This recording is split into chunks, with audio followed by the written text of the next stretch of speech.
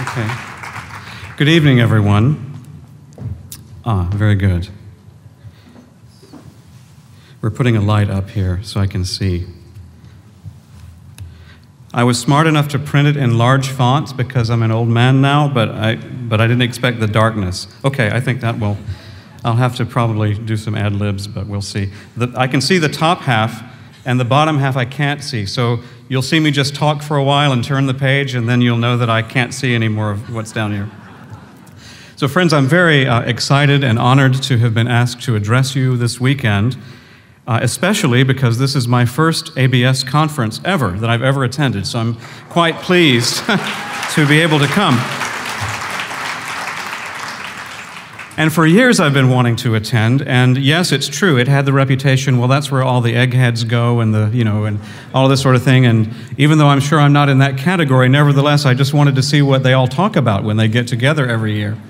And uh, every year, though, I just couldn't do it because of scheduling problems until I saw the dates this year, and I had already decided to myself that I would come, only then later to get the invitation also to speak. So it was really a wonderful confirmation of that. And I'm also very pleased that my, my very beloved wife, Mojgan, and my two children also are with me uh, for their first ABS conference as well. Well, friends, it's hard to know where to begin on a theme like this because the revelation of Baha'u'llah is this wonderful and vast emanation from the mind of God. It's likened by the Blessed Beauty to an ocean, which calls to mind its beauty, its depth, its impenetrable mystery, and its overwhelming and inevitable power to shape the course of human affairs as difficult as it might be to imagine, we know that its influence will overshadow all future revelations for 5,000 centuries to come. So it's impossible then to conceive any capacity on our part today fully to understand its implications. And we know that it's futile, any attempt on our part to fully appreciate the nature of the changes that this cause will make to the social and the spiritual evolution of humanity.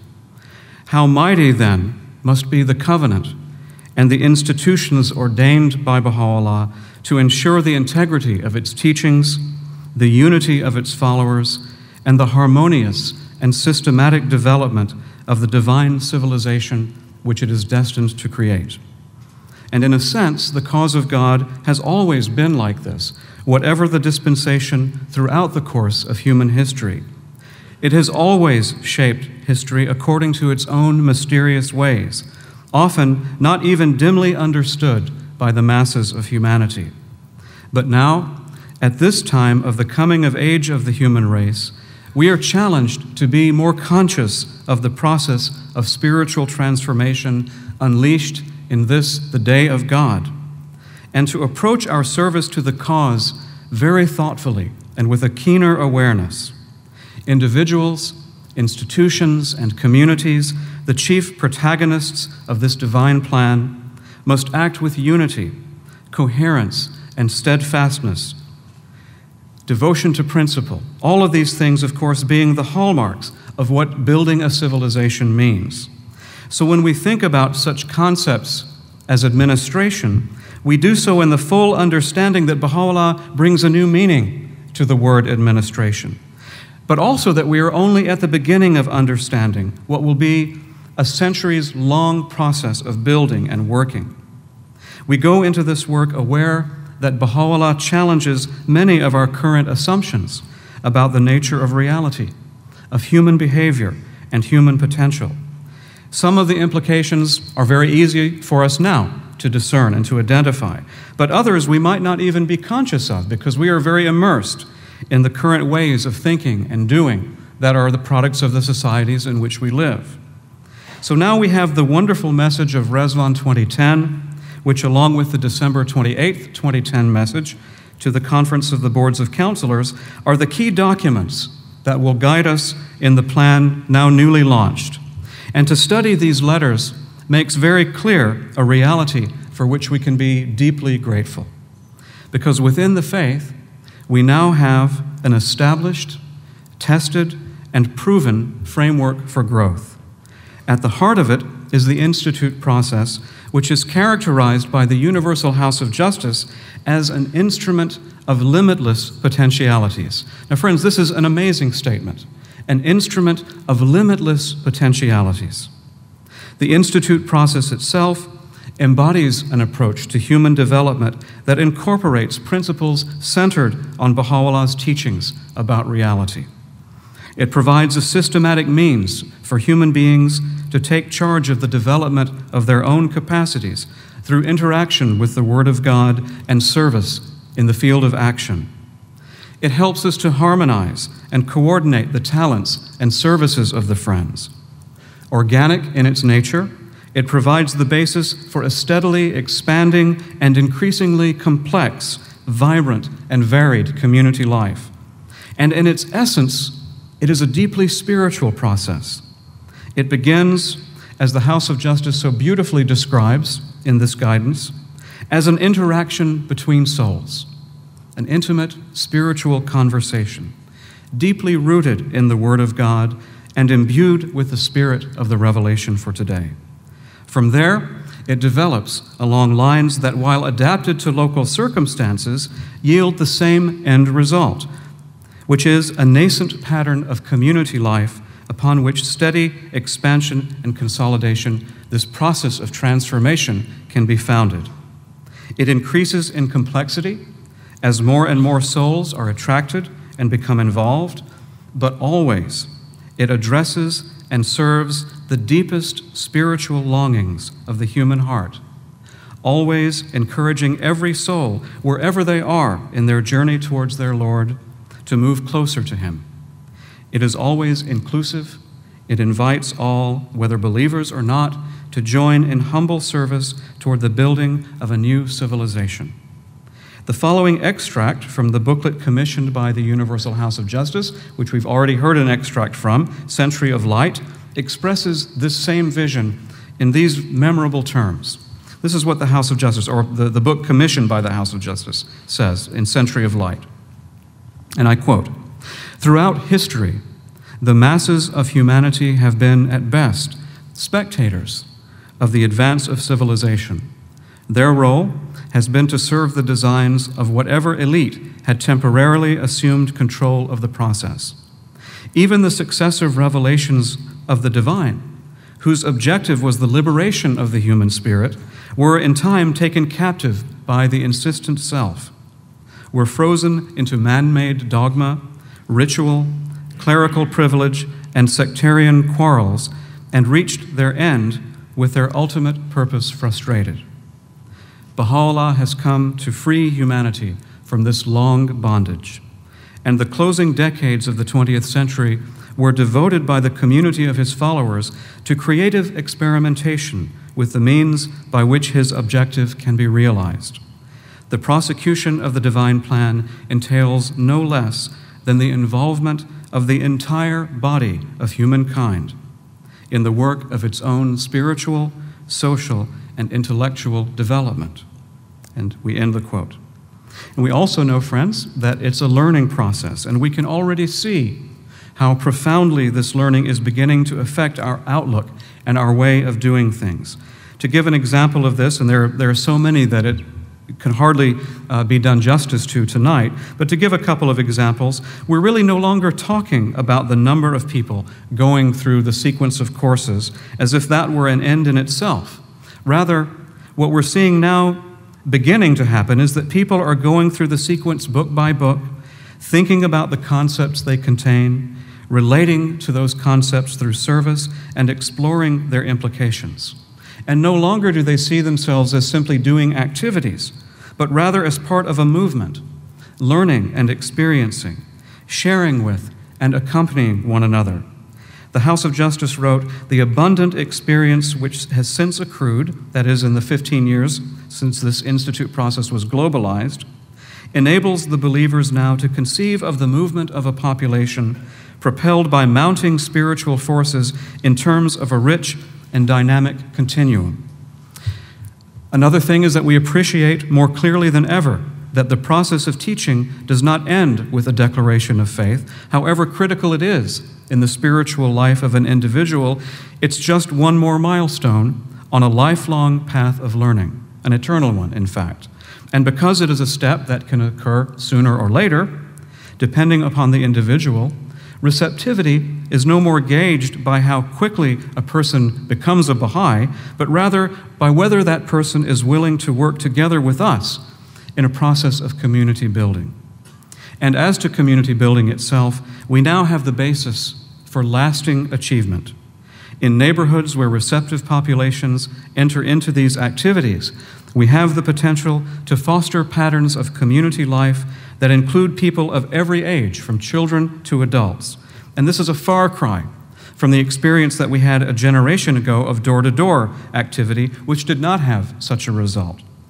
Now, to be sure, we still have a long way to go in North America as far as this is concerned, because we still don't have communities where large numbers of the inhabitants of a neighborhood have taken charge of their own development. But although this is an achievement yet to be attained, we are well on the road to attaining it, even in the current plan.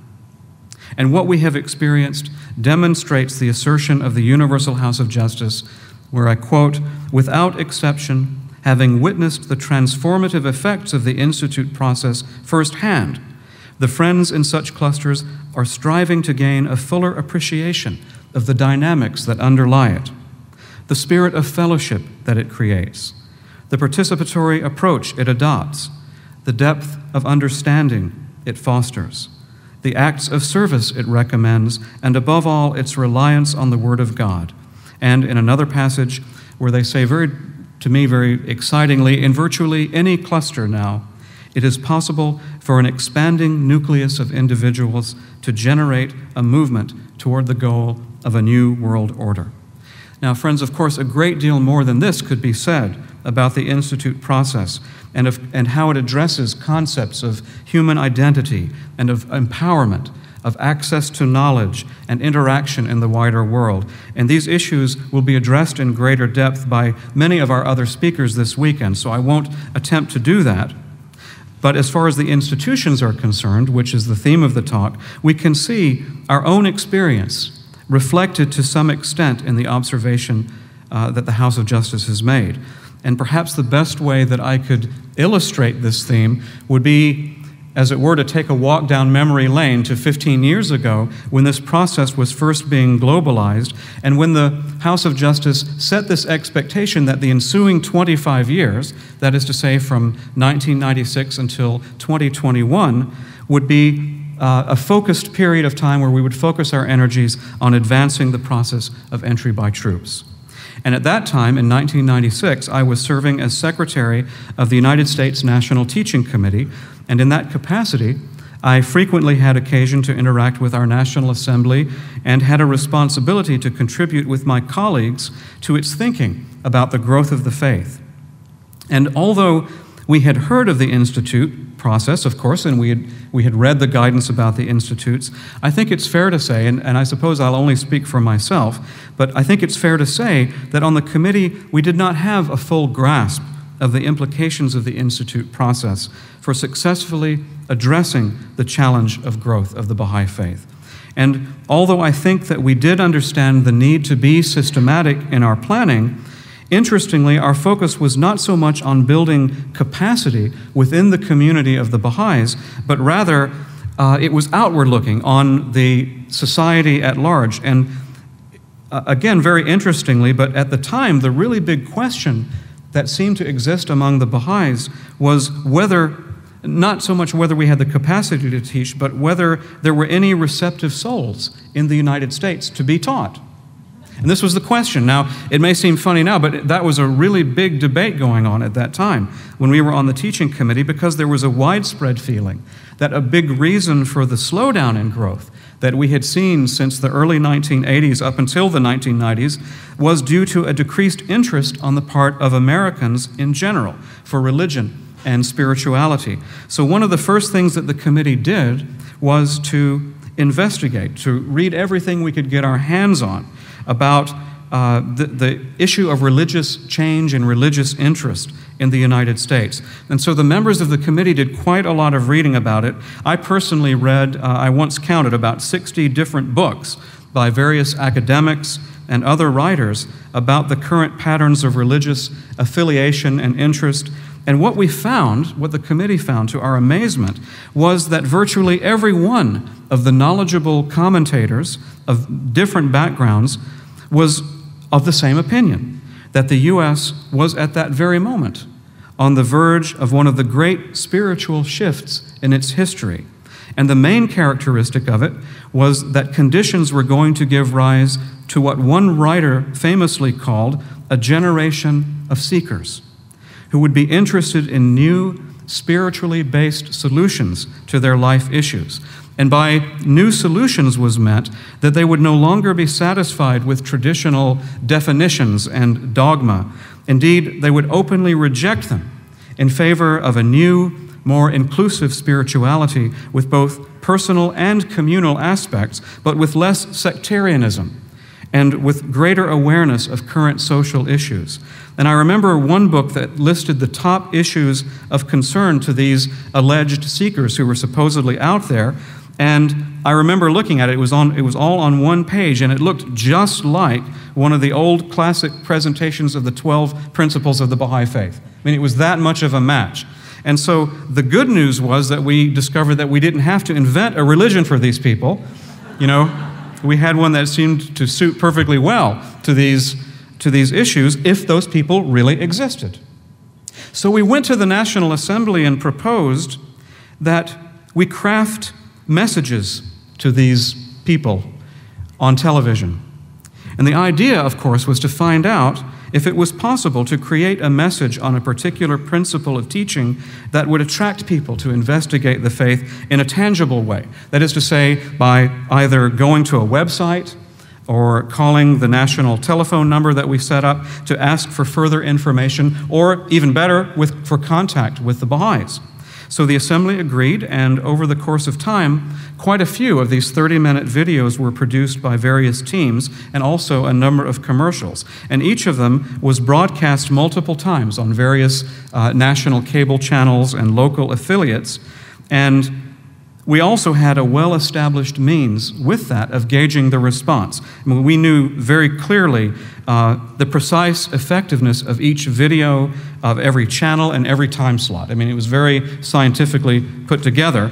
And the process unfolded over the course of several years. So, to make a long uh, and very interesting story really short, let me just cut to the three big things that we learned from it. First, we were stunned at what we did not know about effective communication in this process. Even the Baha'i media professionals, and they were all professionals, who produced the videos, and these were videos you may remember Power of Race Unity, Power of Prayer, Power of Family, all of these videos, some of the commercials too. Even these professionals had to learn a great deal about how to present the faith in an effective and attractive way. And this they did through detailed and repeated focus group tests, moderated by non Baha'is, so that we could see how people actually reacted to the content in real time and give us feedback. Not to Baha'is, but to others, so it would be uh, uh, non biased. And of course, this makes sense if you think about it, because communication is a two way street. We don't just talk, we hear, and we want feedback. We want to know if we're coming across. And I'll just suffice to say that we could have written an entire book about the difference between what we think we are communicating when we are presenting the faith and what is actually coming across to those with whom we wish to share the message at least in this way. So it took a long time to be able to create them effectively. And even today, I would say that there is much to be learned that would apply to our teaching efforts. And we're going to come back to that point a little later in the presentation.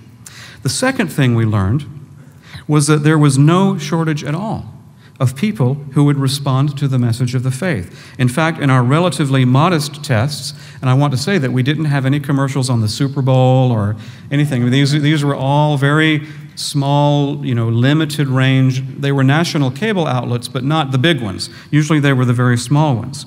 So even in these modest tests, we were literally overwhelmed with interest as thousands upon thousands of people expressed the wish for information and for direct contact with local communities. And it completely put to rest this question of whether there were anyone out there really who would listen to anything that we had to say. But finally, and the most important lesson of all, friends, by far, was that we had almost no capacity to deal with this interest at the local level. For some reason, we had always assumed that if people would express interest, then we would easily and naturally teach them. But we completely underestimated the need to create a culture of community life at the local level that could embrace and nurture and welcome people. And so we simply didn't have that, and we quickly began to realize it that there were few activities for people to attend and a shortage of skilled teachers. And so, as we discovered this and the NSA realized it, we ceased these national media broadcasts and just switched our focus to uh, the main elements of the plan until such time as we would build that capacity again. So the imperative of grassroots development was there, and it was very clear, of course, in the guidance that that should be the focus. But we didn't entirely abandon those people coming to us uh, and expressing interest in the faith on the internet. In the years since then, it's been 10 years now since those broadcasts, we have systematically tracked the path of inquiry undertaken by visitors to our public website so that we could learn how content, opportunities to obtain further information, and invitation to join local communities could assist the journey of those who are attracted to the Baha'i teachings and wish to seriously investigate the faith. And we've learned much about each of these facets of an online exploration of the faith, so that now our presentation to seekers and our follow up have gained greatly in their effectiveness. And so today, nearly all visitors to the site who express interest now receive a rapid and welcoming response from well trained individuals living in their vicinity who are able to befriend them and often uh, successfully connect them with core activities and, and other local Baha'i community events. And of course, that same 10 years parallels a development of far greater significance, which was the capacity for teaching and for welcoming these people that was generated directly as a result of the Institute process. Measured against our standing a few years ago, we have much greater collective skill in nurturing the interest of seekers and have developed a new pattern of community life that more readily embraces them as active participants in the life of the community. And I can give a very good example that dramatically illustrates that this is a, a true thing that we're seeing uh, emerging. The history of online declarations is, is the example. And I'll tell you about that because I think it's a, a very good way of showing what has changed in at least the U.S. Baha'i community in these past few years. In 2004, the National Spiritual Assembly decided to experiment with the idea of allowing individuals to express online their desire to become Baha'is, not just have further information or contact, but even to say, I want to become a member of the Baha'i community. And in one year, in 2004, some 500 people uh, did this by this means. Some had already had contact with believers and were actively investigating the faith through traditional or you know, well established means, such as firesides or core activities. But most appeared never to have had any substantive interaction of that kind.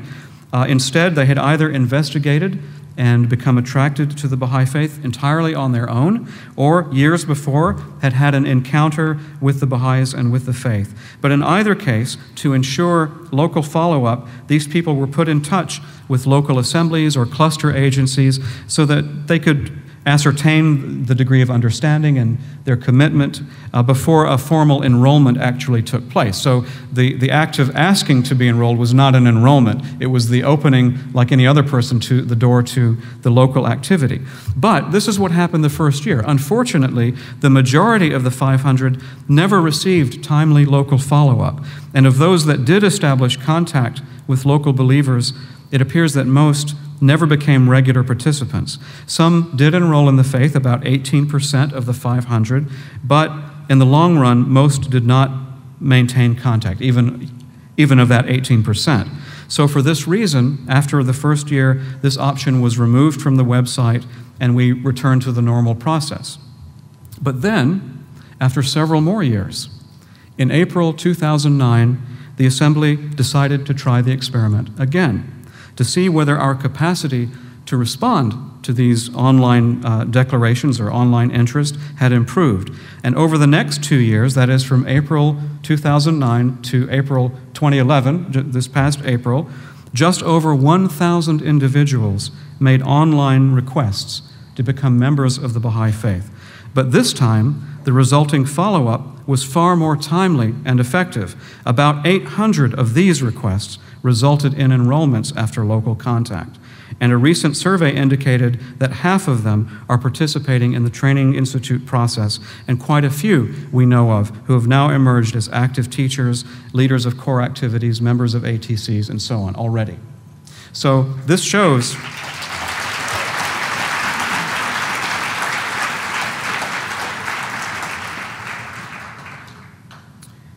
There are some standout lessons that come from this. One is that the increased ability to nurture seekers did not happen by accident. It was the result of deliberate, disciplined, and a constant process of learning that has gone on for more than a decade and which still continues today. We've had national, regional, and sub regional meetings devoted to learning how to foster the interest of people who express that interest via internet or other such means, and as a result of much trial and error, we're now beginning to have an idea of how to do this in an effective way.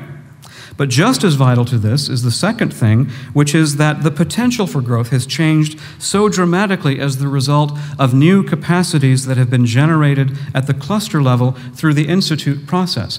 You can invite them to the party, but then you got to have a party, right? You know, there's got to be something for people to come to. Well, now there is.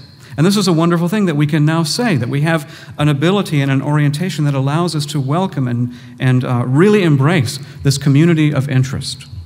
But the other thing, the third, was a new understanding of the nature of proclamation itself.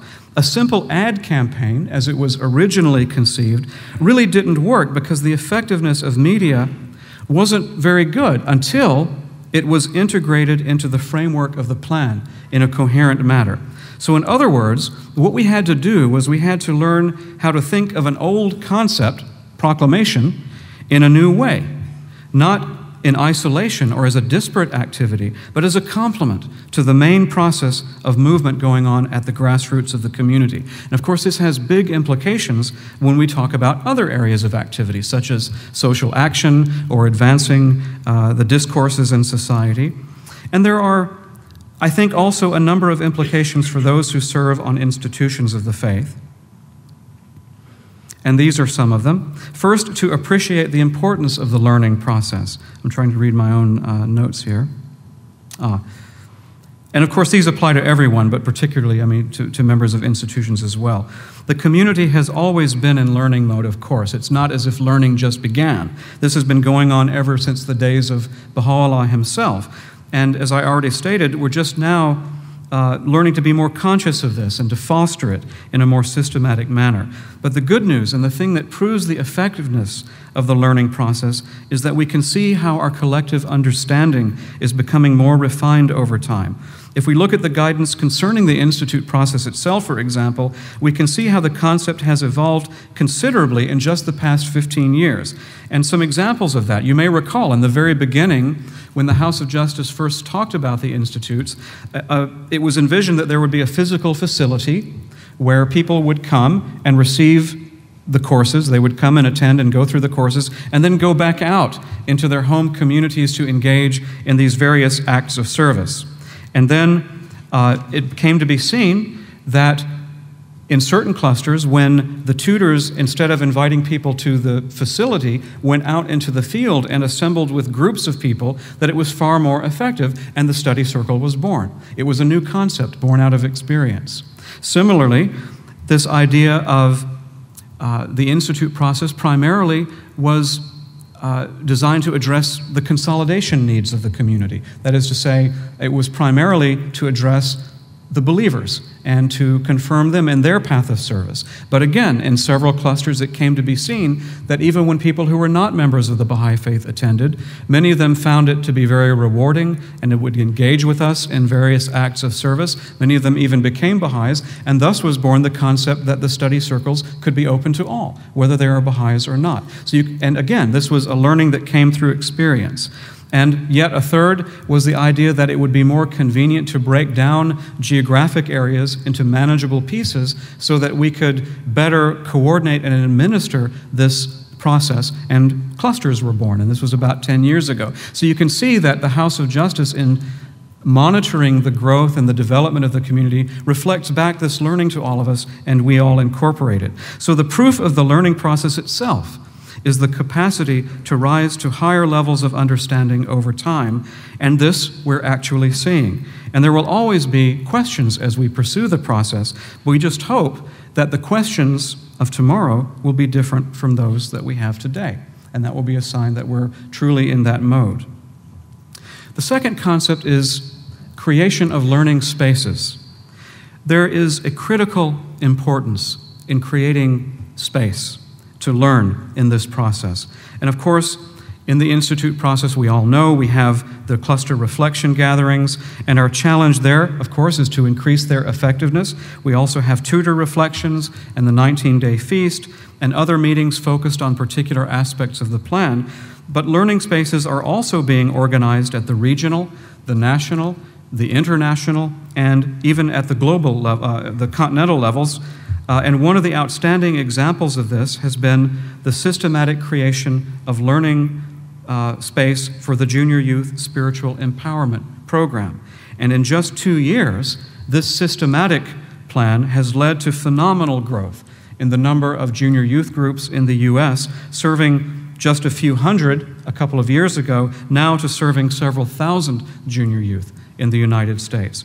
And the approach was very straightforward and, and really rather simple because it just provided opportunities for friends from various clusters to come together on a regular basis to learn from each other's experiences, to deepen their understanding of the junior youth curriculum, and to encourage each other.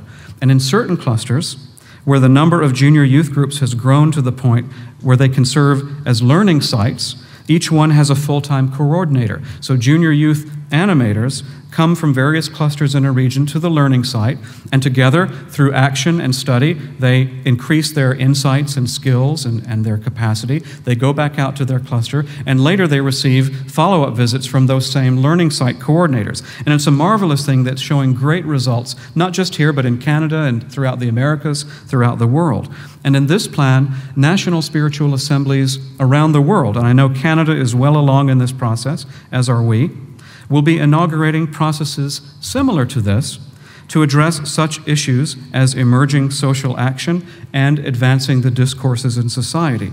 Now, of course, each of these will follow their own particular path, but the point is that the discipline of learning through action and shared experience will be the key to our progress. And of course, uh, all of us will be working very closely with the House of Justice and its agencies so that it's not just uh, a local or a regional or national learning process, but truly a global learning process to which we are contributing. The third point is cultivating an attitude of learning. The House of Justice offers essential guidance as to the proper attitude that individuals and institutions should take in their approach to the plan. And there are many beautiful things that are written in the Ridvan message and in the December 28th message. I'll confine myself to just a couple of examples. The House wrote, for example, as an increasing number of believers participate in the teaching and administrative work undertaken with a humble attitude of learning, they should come to view every task, every interaction, as an occasion to join hands in the pursuit of progress and to accompany one another in their efforts to serve the cause. And again, all of the institutions and agencies promoting the aim of the current series of global plans need to exercise the measure, measure of agility that the birth of such a dynamic process demands. In this, as in all their work, they must display breadth of vision and clarity of thought, flexibility and resourcefulness. And another example as to the attitude that should characterize those who are called upon to serve in administrative capacities. The House of Justice says this, among other things, and it's a, a beautiful passage. They should not imagine that such service entitles them to operate on the periphery of the learning process that is everywhere gaining strength, exempt from its inherent requirements. Nor should it be supposed that membership on administrative bodies provides an opportunity to promote one's own understanding of what is recorded in the sacred text and how the teachings should be applied, steering the community in whatever direction personal preferences dictate. Referring to the members of spiritual assemblies, the Guardian wrote that they must disregard utterly their own likes and dislikes, their personal interests and inclinations, and consecrate their minds upon those measures that will conduce to the welfare and happiness of the Baha'i community and promote the common weal. Baha'i institutions do exercise authority to guide the friends and exert moral, spiritual, and intellectual influence on the lives of individuals and communities. However, such functions are to be performed with the realization that an ethos of loving service pervades Baha'i institutional identity. Qualifying authority and influence in this manner implies sacrifice on the part of those entrusted to administer the affairs of the faith. So it's clear from these references, friends, that institutional service begins with the personal commitment of the members of those institutions to learning through direct involvement in the plan. The service of institutions as a whole takes on greater importance and complexity as they attend to the spiritual welfare of a steadily growing community, which of course includes support of the teaching work. And there's also an implication that we must understand institutional roles not in isolation, but rather within the context of systems of relationships. If we think in terms of an organism, for example, we might conceive the embryonic level of growth as one that begins with the multiplication of cells. Now, I was uh, humanities major, so pardon me, all you scientists out there, but I believe it does begin with the multiplica- multiplication of cells. And these cells are neither very differentiated nor are they very integrated with each other. But as growth continues, cells begin to specialize. Systems of organs begin to develop, and greater integration of the whole begins to take place. So, for example, we can ask the question what is the role of a local spiritual assembly in the plan? But this can't be answered without thinking in terms of the local assembly's contribution within the entire system of growth, the kinds of relationships it needs to have with other institutions, with the community, and so on. One can see in this profound significance for the relationship of local assemblies and auxiliary boards, for example, to take just one instance of that. But of course, you also have the other core agencies. It is no longer sufficient, then, for an auxiliary board member to be called in only when there's trouble afoot, but now should be a constant and ongoing partner in this partnership of learning together. And there's much that could be said about this one word that is used in one of the passages I read, which was accompaniment and all that that implies for the nurturing of human potential. And I think we're only just at the beginning of understanding what this means to the work of society building. And I think we're beginning to see that grasp of accompaniment take hold. I can speak of my own experience in the Institute process, where in the beginning, I think we, we treated these books as deepening books, and we went through and we were just filling in the blanks and you know, answering the questions and moving on to the next book and so on. Later, and that was accompaniment. If you were a tutor, you just helped people get through the exercises. Later, we attained a, a bit of a deeper grasp, and of course, we understood oh, well, there's the service component, and we learned that that was intrinsic to the the experience of the process for people who were going through it. But accompaniment, I think, more often than not, was then still limited to the time it took to take the book. So if we were in book six on teaching the Baha'i faith, for example, we would be with each other through the book and maybe through some teaching experiences in the book. But then after the book, we might disperse and it might not stay together. But now we're beginning to think of this as a more long term process of interaction and being with each other. Uh, and um, You'll be hearing more about this, I think, from some of our other speakers, but what I'd like to add from my own perspective are just these two points. First is the recognition, of course, that, that we have from Baha'u'llah that each human soul is a mine rich in gems of inestimable value. Rich in gems of inestimable value. This is one of the beautiful passages from the writings of Baha'u'llah. But if we recognize this, we might also recognize that the gems in each person are not necessarily identical.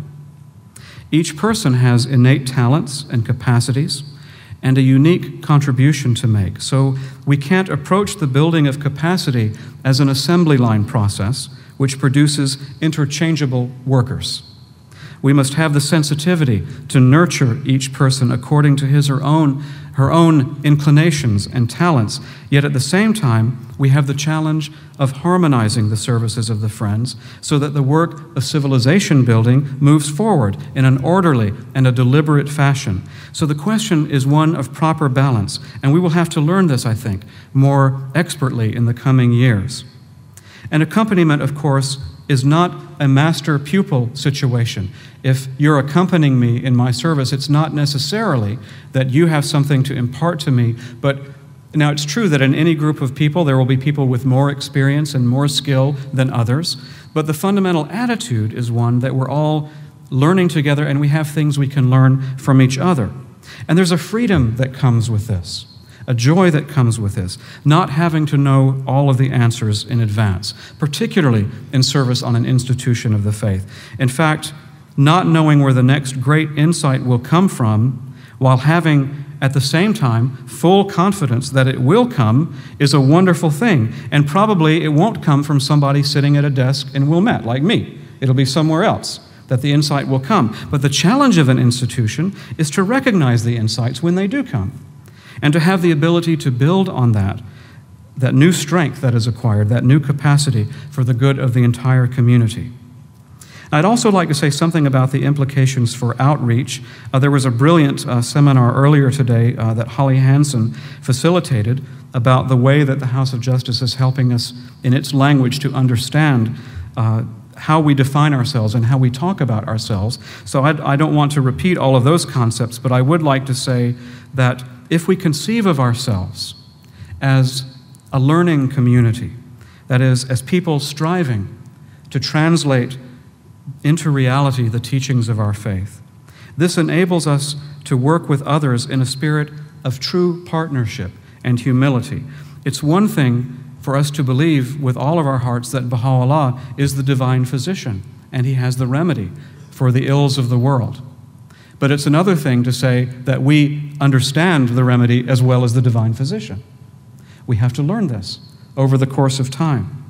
So, with this conception, the distinctions about who is a believer and who is not fade into the background as we welcome and work together with people who are interested in the betterment of the world.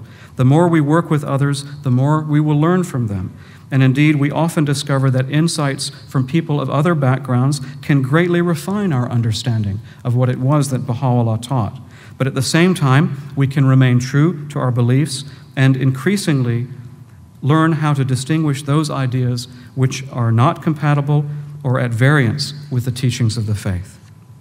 And another feature of this outreach is that we will increasingly become a community that is able to share, our experiences in applying spiritually based solutions to the problems of society.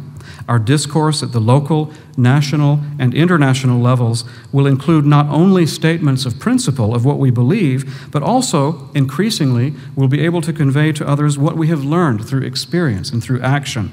So, this opens up a world of opportunities for Baha'i scholars, and of course, what makes this conference so exciting. So, another responsibility of the institutions will be to encourage the intellectual life of the community in this context of building a new civilization. And we'll be challenged in so doing to adhere to the same disciplines of learning and that same sense of coherence that has been established with the teaching work. There are sections of the December 28th letter in which the House of Justice addresses certain trends that are to be encouraged at the level of culture, as well as certain potential pitfalls and challenges that we face in our efforts to advance the plan. And in this connection, it's important to understand that the Supreme Body is completely aware of the tests, the tensions, the mistakes, even the disunity that has occasionally surfaced as the result of our attempts to advance this plan. But if we read the guidance and we can see this, we can also see that there is no attempt to ignore these realities on the ground. There is no desire to deny mistakes or to exaggerate our progress, but at the same time, this does not prevent the House of Justice from appreciating the legitimate accomplishments of the community, and it never ceases to remind us of the way in which we should deal with difficulties when they do arise. And there are certain habits of thought in this context that the House of Justice says must be transformed. One of these, which is implied in the December 28th letter, is to conceive of the Institute process as something entirely out of context with everything that preceded it in the history of the faith as if everything that was done before was wrong, but now what we're doing is right. Before we were not a learning community, today we are a learning community. This is nonsense. What we're doing is what is required today at this stage of our development, just as previous plans address the needs of those times. The learning goes on, it has always gone on. And what we're building now will lay the foundation for new approaches that will emerge over the course of time to address challenges that we will face in the future. So, in a sense, one might say that the challenges of today are the result of the victories of yesterday. We're cautioned in this guidance about reducing an entire theme into one or two appealing phrases, as well as the tendency to perceive dichotomies where in fact there are none. And we certainly have ample experience of that. You all have your list, here's mine. Is it study circles or firesides? Do local assemblies have full responsibility for the teaching work or no responsibility? Can we have deepenings, yes or no? Should we focus on only neighborhoods or throughout the cluster? Should Baha'is be involved in other aspects of the life of society or just stick to our core activities? Is proclamation to the, the key to our teaching efforts or is it meaningless to our teaching efforts? Are Baha'i centers essential or unnecessary? And these are the kinds of questions that we receive. But we're being explicitly challenged to achieve a much more profound level of understanding and to avoid the kinds of discourse that is so prevalent in our own society. The central questions have to be different and based upon a better appreciation of how the processes at the heart of the plan should be integrated and coherent, and of how the three protagonists, the individual, the community, and the institutions, act in mutually reinforcing ways. The process, as was said earlier, is not susceptible to formulas or to shortcuts, and we certainly can't afford to be simplistic. Now, related to this, the House says, is this concept of process. We say the Institute process, the process of entry by troops, and great progress has been made in this regard. And those of us who have been active in the faith over the course of, oh, say, the past two decades or more, can well remember a time when there was no common language, no common understanding, no framework at all upon which we could build a lasting growth process. And associated with this was a tendency to rush to judgment on the effectiveness of every teaching plan, instead of thinking of our plans as works in progress, subject to refinement and learning through action. But now the situation is very different, and for the first time in our history, it can truly be said that the world community of believers is united in its conceptual framework and able to persevere along the same path. And above all, is an appreciation that the process is not mechanical. It's not something that we can boil down simply to technique. It's not about the number of activities, but whether those activities, the things that we are doing, are really building human capacity and nurturing the spiritual potential that exists within every soul. Looking at the society around us raises another issue of great importance, and this is the receptivity of our fellow countrymen to investigate and embrace the faith. Now, I've talked about this earlier already, but over the years, the House of Justice, too, has repeatedly referred to the receptivity that the Friends have found in their teaching efforts, and we have certainly seen it in the United States. And there's uh, very much the case here where it could be said that certain populations have proven more receptive than others, there's no population that has shown no receptivity. We've received countless reports of devotionals, junior youth groups, children's classes, and study circles attended by receptive souls from every stratum of society in the U.S. without exception. Now, we might say, is it the majority? Well, it's pro- maybe, maybe it's not the majority, but let's say it's 5% of America. One out of 20 people, 5%. Well, 15 million people then, 100 times as many as there are Baha'is. I'll take it.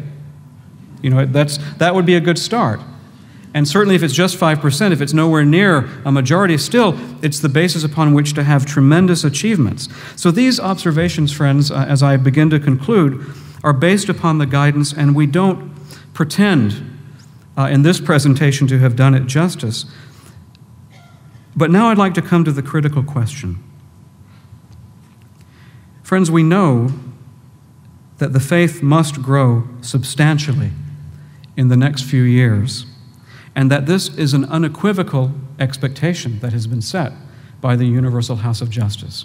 And, friends, of course, it's not a, a matter simply of having more people, it's about having more people committed to building a new world.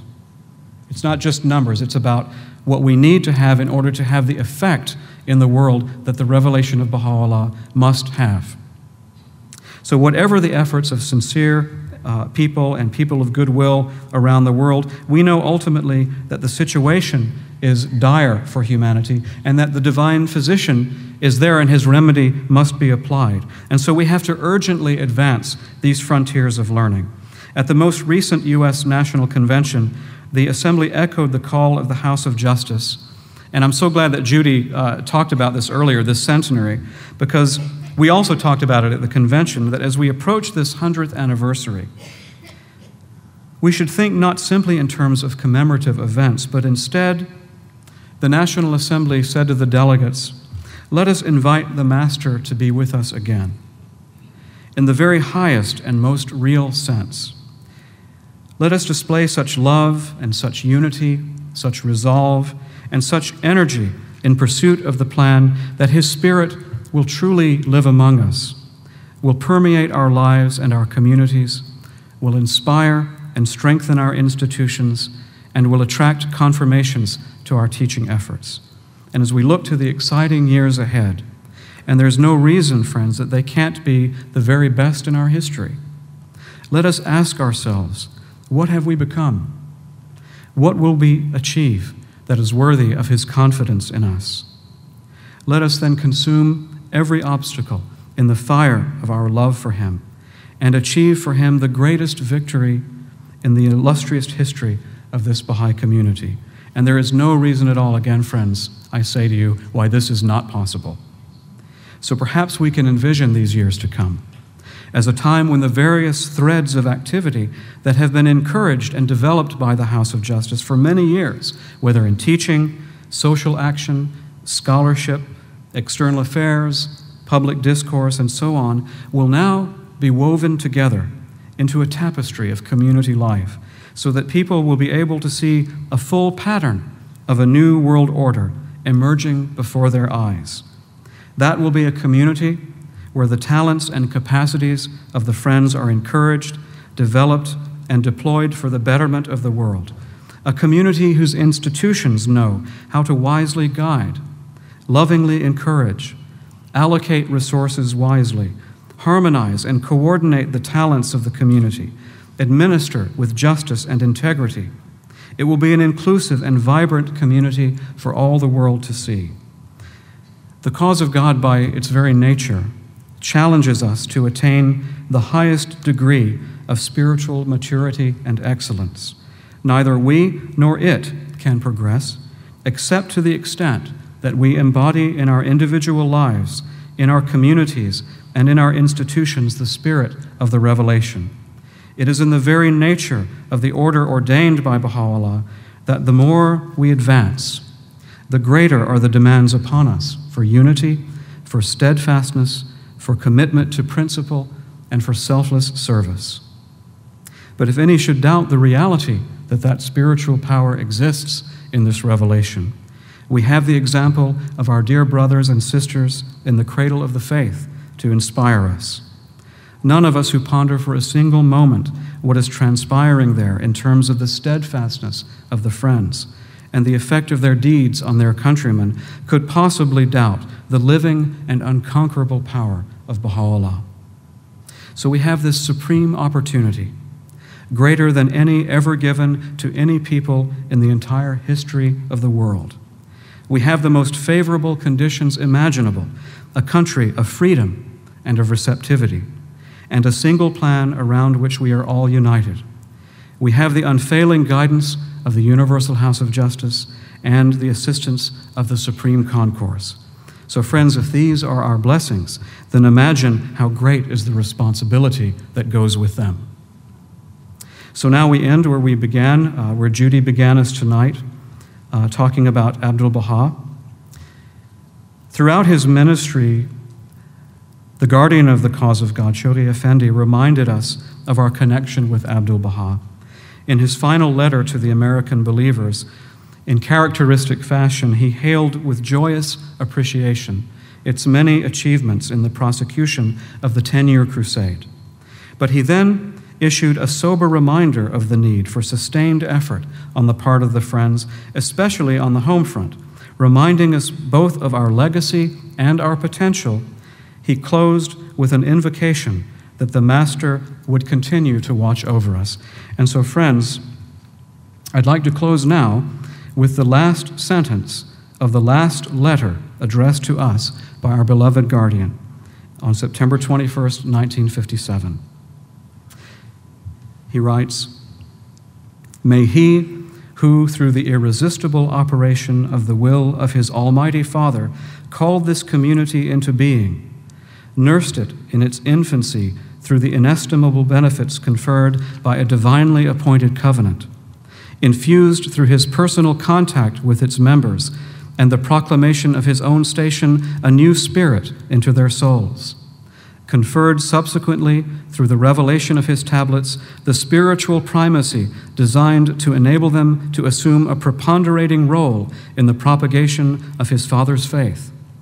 Graciously aided them following his ascension to inaugurate their God given mission by fixing the pattern creating the institutions, and vindicating the purpose of a divinely appointed administrative order, and by launching subsequently the preliminary undertakings in their homeland, as well as in all the republics of Latin America, in anticipation of the formal inauguration of a systematic world crusade for the furtherance of his father's cause and more recently assisted them to embark in concert with their brethren in other continents of the globe upon the first stage of their world encompassing mission and to win a series of victories unprecedented in the annals of the faith in their homeland.